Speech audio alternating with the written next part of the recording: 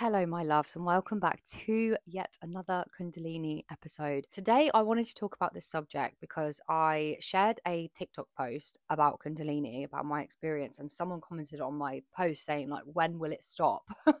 um, and I totally felt her because this sort of energy is super intense. It's overwhelming. It is a lot, especially a lot if you haven't been on the spiritual journey and then this has happened to you. So I wanted to talk about this because I almost feel like the fact that she's saying, like, when is this going to stop? People must be wondering the same thing. So I wanted to talk about this subject to kind of just share what I believe about the Kundalini and this sort of energy and when will it stop? Will it stop? Won't it stop? Like, let's talk about it. But before we get into this video, don't forget to like, share, subscribe if you vibe, hit the bell button down below. There's 84% of people that watch my videos on my channel that don't subscribe, and there's 15% that are subscribed. So if you do enjoy these videos, don't forget to subscribe to subscribe down below. I've got a whole extensive playlist of Kundalini episodes. So if you are interested in this kind of content, this is the place for you. If you're interested in lifestyle videos, I love all of that stuff. I love making vlogs. I've got all sorts of stuff on my channel. It's all organized, nice and arranged for you. So it's nice and easy to find everything. And also, I just want to say thank you to everybody that are watching these videos. I am so unbelievably grateful for you all. Like, I, I literally cannot thank you enough. It's been so nice to be able to make these videos and people have resonance with what I'm talking about because I know how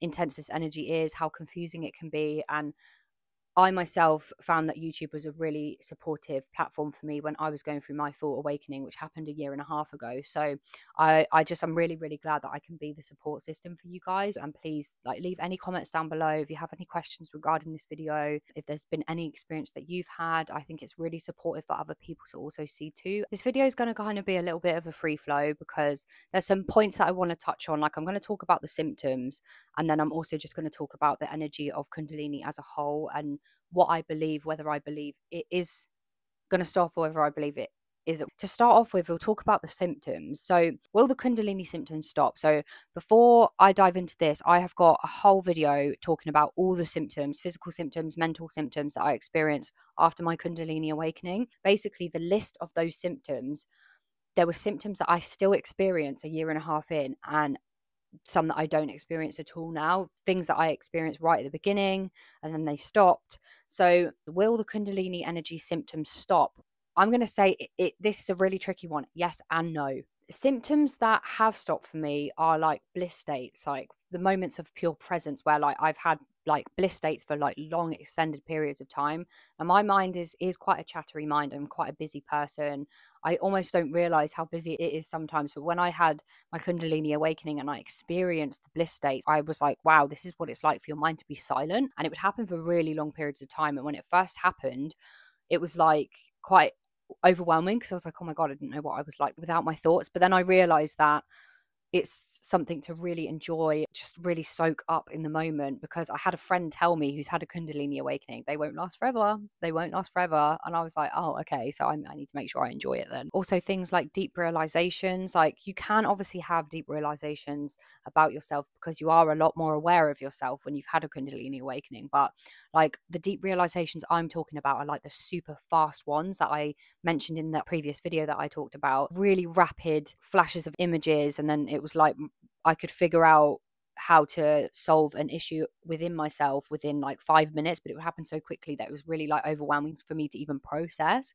That doesn't happen anymore. Obviously, I still have a realization about myself, but in just like normal speed, like most normal people. But when it first happened, it was like very quick, very rapid, very fast. There's also symptoms like getting pains and aches in your body. So this kind of varies because like I said in a previous video, again, that's within the playlist, the energy can get stored within certain areas of your body. So if you think about it in a chakra sense, so let's say in your solar plexus, you're getting a lot of pain there, then maybe there's something dense that's trapped there. The Kundalini is kind of trapped in that in that space. So it needs to work its way through and out again. It's like targeting that area for that area to be healed right? To, for you to pay attention to it so that you nurture it you heal it. And it's really good to kind of study the chakras and and figure out what chakra that's based on what that means the physical symptoms of that and how you can support yourself in healing that chakra. You can find so many things online about all of this stuff. It's a good way to kind of target the areas, but you can suffer with like a lot of pain and backache and in the shoulders and things like that. That doesn't last forever. For me, it didn't last forever anyway, but I know some people's can last for quite a long time.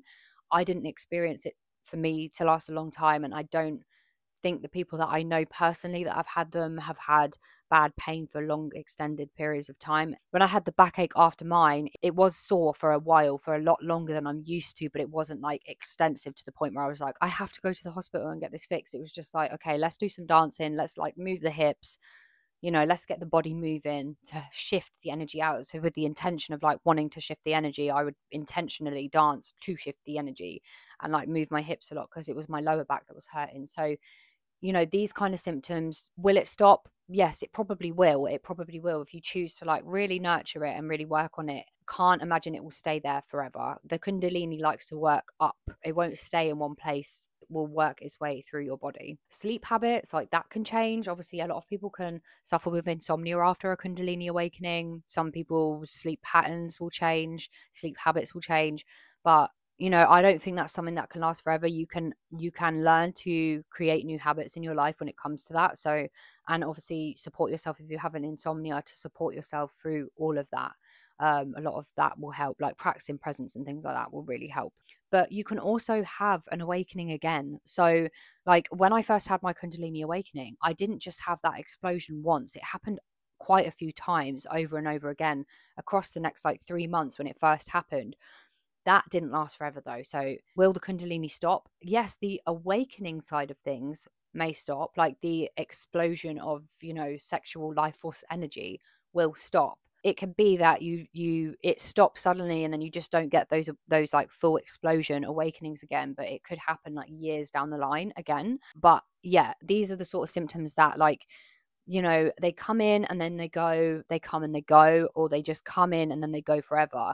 So in that sense of when will it stop? That in that sense it will it can like there's certain things that will stop. So if we move on to like the kundalini energy as a whole will it stop?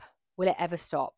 I personally think no because i almost feel like if your kundalini has been awakened it's awakened. It's exploded. It's gone up. Like it's it's happened. And from my experience personally, like you don't look at life the same again. Your nervous system has had a complete reboot and you're kind of like shifting yourself back into alignment again. So it's with you, like your life is different after that. Personally, you speak to anybody that's had a Kundalini waking, your life feels different. It's just different afterwards. So I personally think in that sense, no, because my sensitivity levels, if we're going to talk about like certain things that have happened, will it ever stop? My sensitivity levels are even more intense and they have been since. That doesn't seem to be shifting. I don't think it will ever shift. I think I'm just forever going to be this sensitive now, which is kind of annoying, but it is what it is. It's just a part of me. I have to accept it.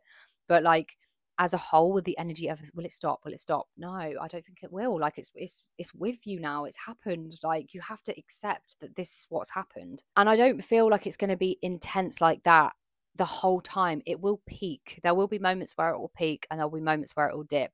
You know there is a very known thing about the kundalini is that you do go through the dark night of the soul after you have a Kundalini awakening. And some people don't have it right away. Some people have the dark night of the soul maybe a year later. Some people have it six months later. But this is where you will have this amazing, powerful awakening where, you know, you'll feel like the best you've ever felt in your life. And then you'll go from feeling the worst you've ever felt. And you can go down into a dip of depression. And I did. I definitely about six months after mine, I went through a dark night of the soul. And you know, you feel like you've gone completely backwards and it's kind of confusing and conflicting because you think, I've just had this huge awakening and now I'm feeling like this. Like, what? What is this? Why am I feeling like this? And it's so confusing and you kind of feel disconnected from source and you've been so connected and plugged into source during and prior to that. And then suddenly you just feel so disconnected to source and yourself.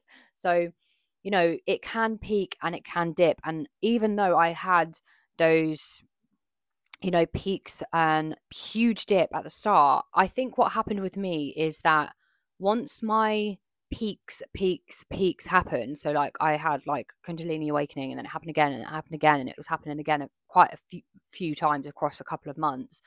When they stopped, that's when it seemed like I went into the dark night of the soul. So all of this light has come into my body and then it's like it gets flooded with the darkness and and then you're seeing the truth in yourself and you're seeing all of these things about yourself and then you're seeing how things need to shift in your life and then you're also seeing stuff in other people and you're feeling sensitive and you don't feel completely like the same again then that balances out and then you might have a peak again and then you might drop again so I almost feel like it's always going to be with you.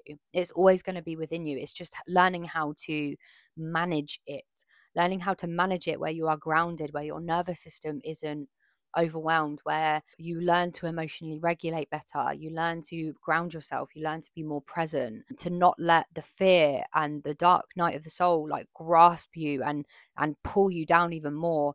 Don't feed into it too much. Like let yourself feel all these all the feelings, but don't feed into it. Don't go too deep in there where you get stuck and then you're stuck, stuck, stuck, stuck. And there's a whole process that everyone goes through. Everyone's different, but you'll go through a whole process. Your dark night of the soul will be different to my dark night of the soul. I think that the whole point of this video and the reason why I wanted to make this and the reason why I wanted to talk about this subject, I'm so glad that this was a question that came up in one of my videos. Will this energy ever stop? No, but you can learn how to manage it there's ways in learning how to manage it. And I have created a whole separate video that's in the Kundalini playlist with different practices that helped support me through my Kundalini awakening. So please go check that video out. It will really support you. And they're not like your regular practices. These practices aren't just about they're not like yoga meditation they are practices that i genuinely used myself to ground myself back into my body to come back to presence to calm down my anxiety calm down my fear because I had a lot of fear come up for me. They really supported me. So please, if you feel like you need that support, just go and watch that video. I'll link it down below, but it'll also be within the playlist. There's quite a few things on there that are very, very simple, very, very easy that you can you can do for yourself that are free. You could do it at any time. You could literally do it as soon as you click off this video. So definitely lean on the practices to help calm down your nervous system, to breathe, to be present, to be in the moment. And that is going to help you find this awakening a lot more easier. It's going to be very, very supportive to help you enjoy it. And just remembering that things may get hard before they get easier again. You know, you have this gorgeous enlightenment, this beautiful experience, and then things get really hard. And then trusting that it's not going to be like that forever. You're going to come out the other side of it as long as you've got yourself to support yourself, as long as you're taking care of yourself, give yourself grace, take it easy, create space in your life, find time to be still. Really simple things that you can do for yourself that can help support you through this because the Kundalini energy is so overwhelming. It's so intense. It's so beautiful, but it's so intense. And, and we just have to be honest about it. Okay. Like, this is why I always say, you know, this energy isn't to be taken lightly. I, I, it's not something that you should invoke. It's something that should happen when it happens. Personally, I believe it should happen when it happens. If it comes up, it's part of your purpose, it's a part of your path, it's a part of your journey in life. Number one thing to do take care of yourself overall, give yourself grace, be kind to yourself, be calm with yourself. Try not to get yourself too worked up. So, all in all, when will the Kundalini energy stop? Personally, I believe it won't ever stop. like, it's not, you're always going to have this activated within you now. Just learn how to manage it, learn how to regulate it, learn how to live with it. You have to accept that this has happened. You have to just accept that this is part of your journey. And remember, it's a very sacred thing. It's a very, very, very sacred thing. Keep it sacred and really please please, please, please do take care of yourself. Please look after yourself. And please make sure that you're practicing self care because that is so important. Fill your cup up because your cup is going to feel all over the place, overflowing, empty. Like you're just going to feel all over the place. So keep slowly filling your cup up. Come down to a place of presence, come down to a place of grounding, and see how you can manage the energy from there on out. All right, my loves, thank you so much for watching this video. Again, if you have made it to the end of this video, I am so unbelievably grateful for you all. I just want to help people. So if I'm helping one person, then I feel like I have achieved my goal. And yeah, I'm just beyond grateful for any support. So please do leave any messages down in the comment section below. If this has resonated, if there's anything that you also want to share, if you have any information about any of this, please do leave it down below. It can support other people that come across this video as well. And yeah, don't forget to subscribe if you vibe. Hit the bell button down below. I post every single week. So stay tuned. I'm sending you so much love. Enjoy your day, enjoy your evening, whatever you're choosing to do. Bye. Feel it.